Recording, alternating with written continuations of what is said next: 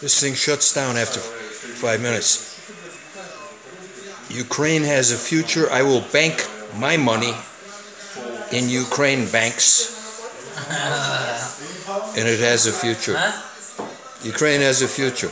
I am banks, Ukrainian. Ukraine banks are controlled I am not for countries that set up dictators that are nuts and, and assassinate their own people They must assassinate on the day of their liberation. They must assassinate Fuck Vladimir Putin and all his pimps.